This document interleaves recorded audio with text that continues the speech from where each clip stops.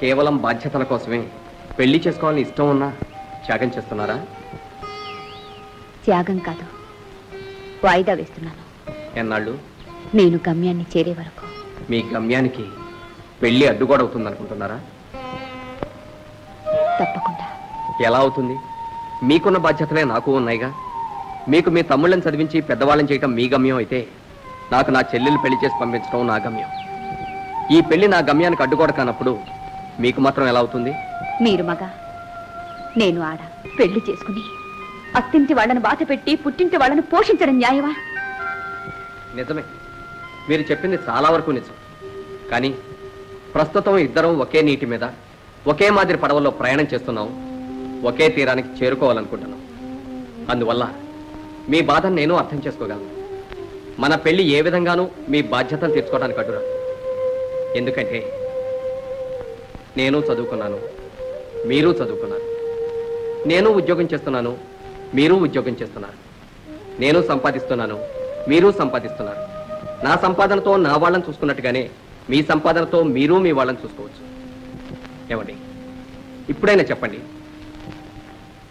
అవునమ్మా చేసుకుంటే. ఆమెనే చేసుకుంటాట లేకపోతే పెళ్ళే చేసుకోడట. విన్నారా? నువ్వు ఊరుకోవే. అయినా ఆ పిల్లకేం తక్కువే? తను ఉద్యోగం చేస్తోంది. నెలకి మూడు వందలు నాలుగు వందలు తెచ్చుకుంటోంది. అంటే సంవత్సరానికి నాలుగు వేల దాకా వస్తుంది. ఆ అమ్మాయి ఉద్యోగం చేసి వీడు ఉద్యోగం చేస్తే ఈ కట్నాలు ఎందుకే? చూడు ఈ విషయాలేవి నువ్వు వాడి దగ్గర ఎత్తకు. ఒరే నీ ఇష్టం రాను అన్ని వాడే చూసుకుంటాడు. అయినా మనకెందుకే రామకృష్ణ అని పేకాడుకుంటూ కూర్చోక? మాలతి నేరదా నాలుగైదు రోజుల్లో ప్రసవించవచ్చని డాక్టర్ గారు చెప్పారు. నాకెందుకో కంగారుగా ఉంది. ఎందుకండి కంగారు? అత్తయ్య గారు ఉన్నారుగా?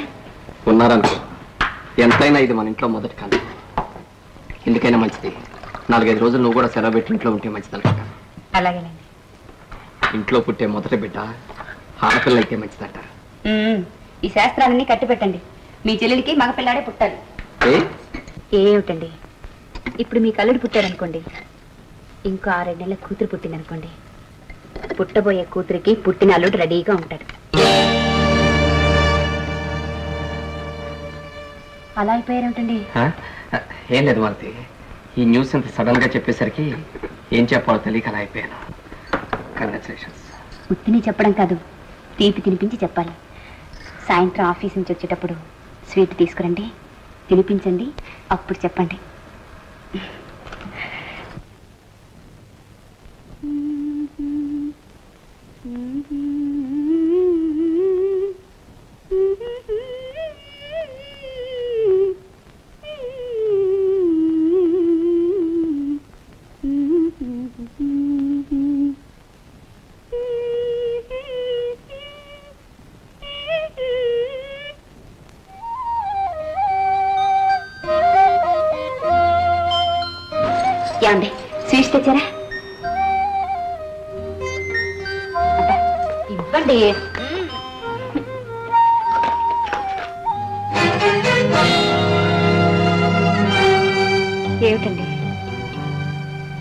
మాలతి ఆవు అందరి కోసం పాలిస్తుంది. కానీ ఆ పాలు తను తాగలేదు. తను తాగేది మన పారపోసే గంజి నీళ్ళు. చూసేవా దాని జాతకం? అలాంటివే మన జాతకాలను మనం ఉన్నది సుఖపట్టడానికి కాదు సుఖపెట్టడానికి ఈ స్థితిలో పిల్లలు పుడితే ఏం సుఖపడతారు? అంటే? ఏం లేదు మనది నేనా శారదకు పెళ్ళి చేయాలి నువ్వా ఇద్దరు తమ్ముళ్ళని పెంచాలి. ఆ బరువును మన భుజాల మించి దిగే వరకు మనం మనుషులం కాలేం అందుకే అప్పటి వరకు మనకి పిల్లలు తలుకుంటున్నాను. ఒకవేళ పుట్టినా వాళ్ళని సరిగ్గా పెంచలేము. ఇది తప్పని తెలుసు. పాపం అని తెలుసు. తండ్రిగా ఈ పని చేయకూడదని కూడా తెలుసు. అయినా అయినా వద్దనుకుంటున్నాను. కారణం మన బాధ్యత.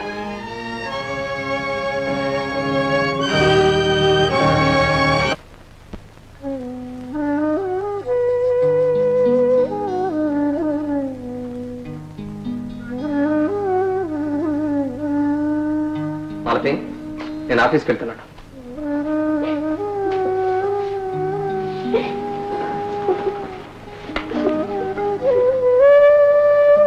మాలతి మాలతి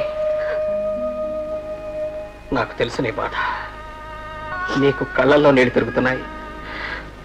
నాకు గుండెల్లో తిరుగుతున్నాయి. అంతే తేడా. మనం ఏడ్చి ఆలోచించి చేయగలిగింది ఏమీ లేదు. మాలతి జరిగిపోయిన దాని గురించి ఆలోచించొద్దంటారు. ఎందుకో తెలుసా? ఎలాగో జరిగిపోయింది కనుక. జరుగుతున్న దాని గురించి కూడా ఆలోచించొద్దంటారు. జరగాల్సింది ఎలాగూ జరుగుతుంది కనుక. జరగబోయే దాని గురించి అసలే ఆలోచించొద్దంటారు. ఎందుకంటే ఎలా జరుగుతుందో తెలియదు కనుక. అన్నీ మన చేతుల్లో ఉన్నట్టే ఉంటాయి. కానీ ఏది మన చేతుల్లో ఉండదు జరిగిపోయిన దాని గురించి మర్చిపో. ప్రశాంతంగా ఉంటా ఇంతటివాడు పాలవాడు కాయగూరవాడు అప్పులవాడు కాబూలివాడు బయట వచ్చేవాడు ఇల్లు వచ్చేవాడు అందరూ వచ్చారు. అంతేగా? నా జీతం అంతానేమో భాష తీసుకుని కోసం సరిపోతుంది. ఆంటీ గారికి ఏమో వాళ్ళ వాళ్ళ కోసం సరిపోతుంది. ఏం చేసుకుంటారో చేసుకోండి. చేయటాకే ఉంది ఆ చేసే కదా నువ్వే చేసావుగా. నువ్వు చేసిన దానికి మేమందరం అవస్థ పడుతున్నాం.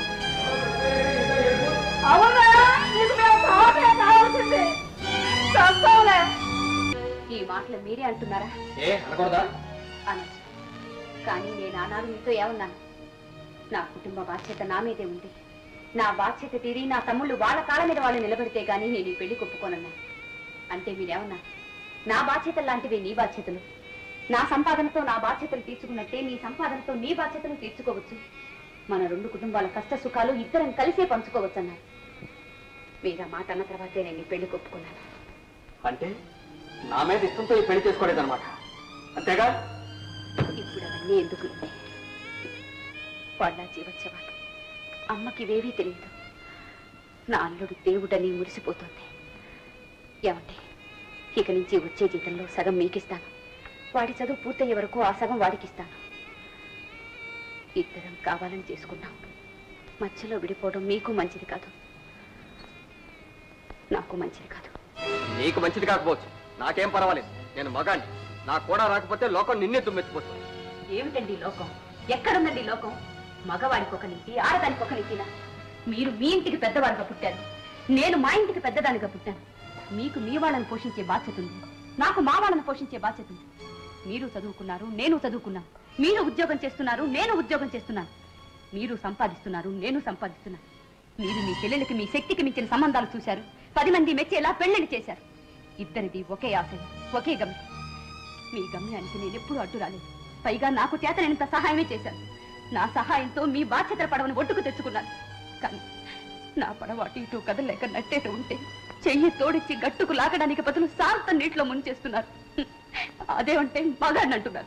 మాలతి ఆ వాళ్ళ గురించే చూసుకుంటున్నాను నీ గురించి నీ వాళ్ళ గురించి ఆలోచించడం లేదనే కానీ అనేది? అలాంటి వాడిని అయితే ఆ రోజు నువ్వెవరో తెలియకుండానే నీకు ఉద్యోగం ఇప్పించాల్సినంత అవసరం నాకే వచ్చింది? పెళ్ళి చేసుకోవాలనే స్వార్థంతో కావచ్చు. అంటే? ఈ పెళ్ళి నేను స్వార్థంతోనే చేసుకున్నానంటావా? ఇప్పుడు అలాగే అనుకోవాల్సి వస్తుంది మీ మాటలు బట్టి. కేవలం నా సంపాదన కోసమే చేసుకున్నట్టు అనిపిస్తోంది. ఒళ్ళు దగ్గర పెట్టుకుని మాట్లాడుతున్నావా? ఈ గొడవ? అమ్మా ఈ విషయాల్లో మాత్రం మీరు ఎవరో కామెంట్ చేసుకోవచ్చు ఏదో పెద్ద చాటింగ్ చేశాను అనుకుంటావా? ఆ మాటకు వస్తే చాటింగ్ చేసింది నువ్వు కాదు నేను నేను చాటింగ్ చేశాను. ఊరూరు తిరిగి హరికథలు చెప్తున్నది వద్దు పెళ్ళి చేసుకోవద్దని నలుగురు చెప్పినా ఎన్నో వేలు కట్టిస్తామని ఎంతో మంది వచ్చినా కాదని నేను నిన్ను పెళ్ళి చేస్తున్నాను చాలా త్యాగం చేశారు. మీరు చేసిన త్యాగాలు ఒక్కట రెండా. తొలిచోలు బిడ్డ కడుపును పడిందని చెబితే స్వీట్స్ తీసుకొచ్చి తినిపించారు చూడండి. అదెంత త్యాగం అండి. నన్ను ఉత్తరించడానికని మా ఇల్లు అద్దెకిప్పించి అమ్మని తమ్ముళ్ళని ఇక్కడికి పిలిపించి పని మనుషుల కంటే హీనంగా చూశారు. అది అది కూడా త్యాగమే కదండి. చదువుకుంటాను మొర్రో అన్నవాడిని రోజు ఉద్యోగం ఇప్పిస్తానన్నారే. అదెంత పెద్ద త్యాగం అండి. మా అమ్మ హాస్పిటల్లో చావు బ్రతుకుల్లో ఉంటే చూడటానికైనా కనీసం ఇప్పటి వరకు రాలేదే. అది అదే త్యాగమేనండి మీ వాడికి ఏ గంటలో కలిసినా పర్వాలేదు. నువ్వు నాతో రా లేకపోతే నన్ను విడిచిపెట్టి వెళ్ళిపోని. ఇప్పుడు చూడండి. అదే అది అన్నిటికంటే త్యాగం అంటే. మీరు నా కోసం ఇన్ని త్యాగాలు చేసినప్పుడు మీకోసం నేను ఒక్క త్యాగం చేయలేను. చేస్తానండి తప్పకుండా చేస్తాను. ఇలా, అసలు వాళ్ళు ఎవరండి నాకు? నాకెవరు? వాళ్ళు ఏమైపోతే నాకేవండి? వాళ్ళు ఏ కాదు కలిస్తే నాకేవండి? వస్తాను మీతోనే వస్తాను అక్కర్లేదు. అంత ఏడుస్తూ నా కూడా రానక్కర్లేదు. వాళ్ళ కోసం ఏడుస్తూ కూర్చోనక్కర్లేదు. ఏడుస్తూ నాతో కాపురం చేయనక్కర్లేదు.